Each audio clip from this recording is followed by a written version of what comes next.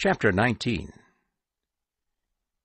After these things I heard something like the loud sound of a great crowd in heaven, saying, Hallelujah! Salvation and glory and power belong to our God, because his judgments are true and righteous, because he has passed judgment on the great prostitute, who corrupted the earth with her sexual immorality, and has avenged the blood of his slaves shed by her hand. And a second time they said, Hallelujah!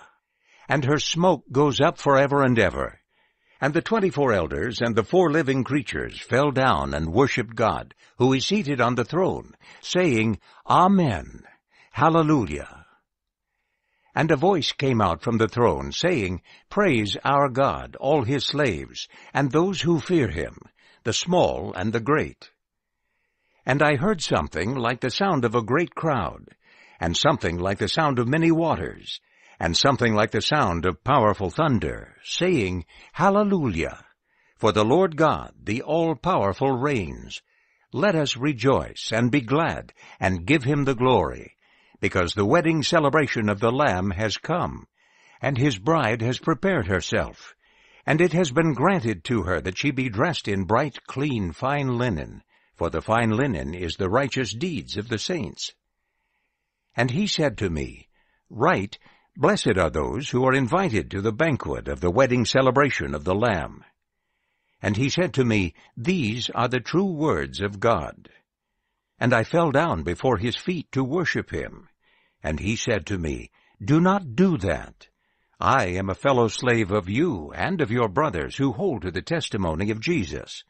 Worship God, for the testimony of Jesus is the spirit of prophecy. And I saw heaven opened, and behold, a white horse, and the one seated on it was called Faithful and True, and with justice he judges and makes war. Now his eyes were a flame of fire, and on his head were many royal headbands, having a name written that no one except he himself knows. And he was dressed in an outer garment dipped in blood, and his name is called the Word of God. And the armies that are in heaven, dressed in clean, white, fine linen, were following him on white horses. And out of his mouth came a sharp sword, so that with it he could strike the nations. And he will shepherd them with an iron rod. And he stomps the winepress of the wine of the furious wrath of God, the all-powerful. And he has a name written on his outer garment, and on his thigh, King of kings, and Lord of lords. And I saw one angel standing in the sun, and he cried out with a loud voice, saying to all the birds that fly directly overhead, Come, assemble for the great banquet of God, in order that you may eat the flesh of kings, and the flesh of military tribunes, and the flesh of the powerful, and the flesh of horses, and those seated on them, and the flesh of all people, both free and slave, and small and great. And I saw the beast, and the kings of the earth, and their armies, assembled to make war with the one who is seated on the horse, and with his army.